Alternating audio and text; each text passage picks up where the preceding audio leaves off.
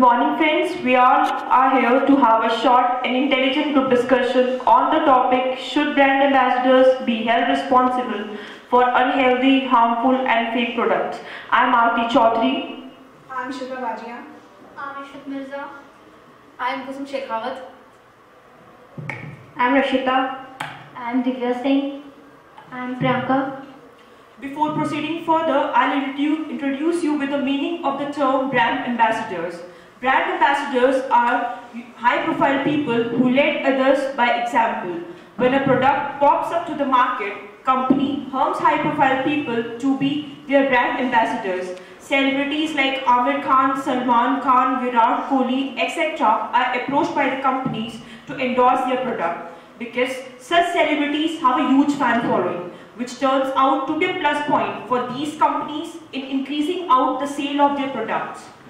But now I'll tell you the immense importance of this topic. Recently, a court notice was, was issued against celebrities like Madhuri Dixit Nene, Amitabh Bachchan and Preity Zinta seeking an explanation from them regarding the promotion of Maggi noodles.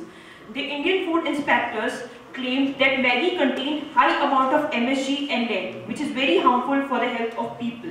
Many states such as Kerala, Gujarat, Haryana pulled out the sale of Maggi from their states. But is it justifiable to hold these brand ambassadors responsible for unhealthy, harmful and fake products? having responsible toward the society, they are having a special tag. So they uh, ca uh, carry an additional responsibility in preserving the wealth of the community.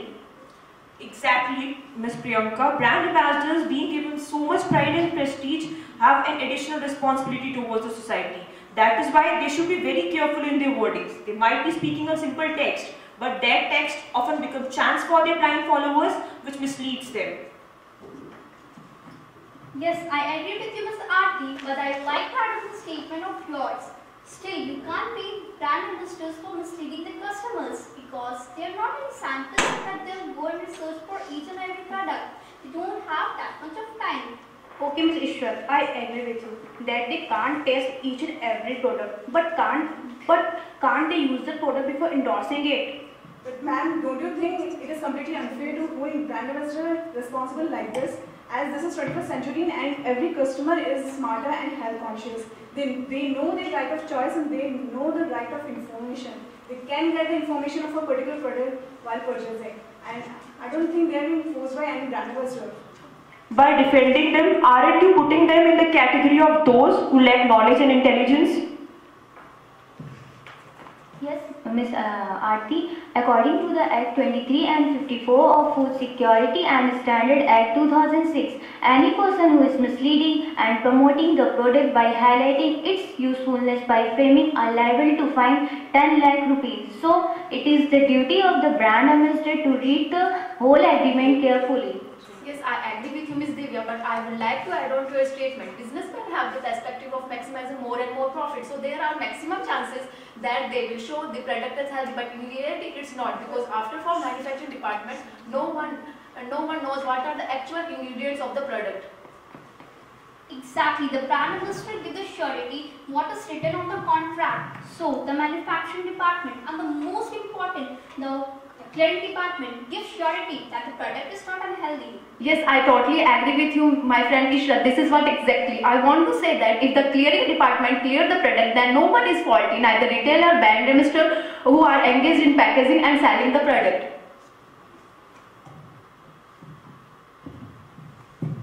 Ms. Kusum, they can't visit the whole uh, manufacturing unit and see what kind of uh, what kind of uh, ingredient they are using in manufacturing product.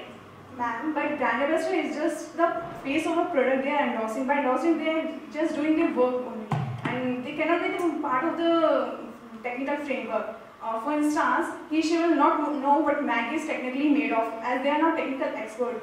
Brand ambassador can take care of certain things, but not in depth. In India, they are not merely actors who are just paid for their job. People express their adulation like by telling the local tailors to stitch the same anarkali, gowns, dresses which actresses like Priyanka Chopra, Madhuri Dixit, etc. wear at their award nights.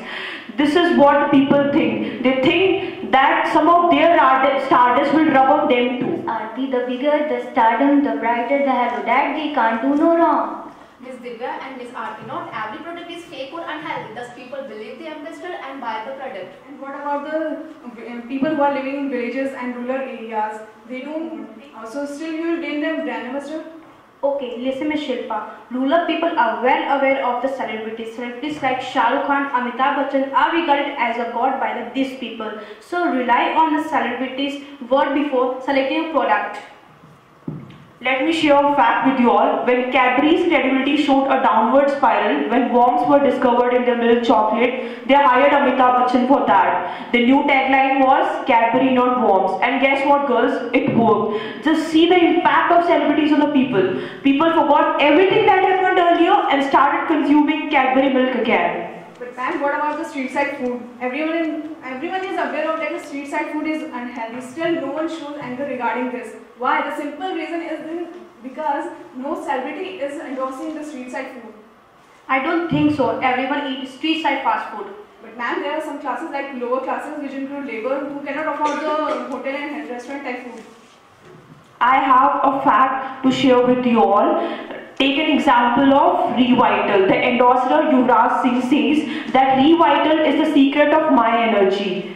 If this product falls in category of unhealthy and harmful products later on, he should be blamed because he is clearly saying that it is the secret of my energy. The boys who wants to be like him will definitely going to purchase that product. So he should be blamed.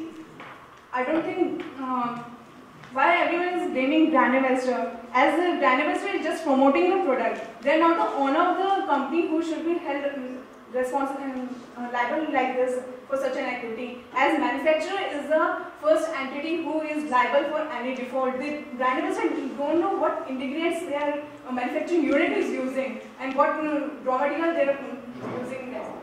Just because they are high profile, that doesn't mean that they can, they can deceive the people. Brand ambassadors have a good image in the eyes of people, then why will they themselves intentionally spoil their name by endorsing unhealthy products? I would uh, share with you, uh, like uh, a company approached Kangana Ranawat for uh, uh, for adding uh, Fair and Lovely, but she refused. They refused the ad. Exactly, Ms. Priyanka. They are just concerned with making a lot of money uh, just finding to using uh, good names. Blaming the brand ambassador for unhealthy commodities, then don't you think they should be appreciated to good product because all the products are not unhealthy? Now I'm going to conclude this, this discussion.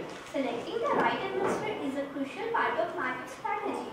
A right person is one who knows handle every situation crisis should be selected as a brand investors. Celebrities who act as a brand investors for unhealthy products should not be crucified for the controversies. Now they can withdraw their name. They can withdraw their name as a brand investors later on and give the explanation for endorsing the product. So it is not only the responsibility of the brand investors, but it is also the responsibility of the government who make the and provisions.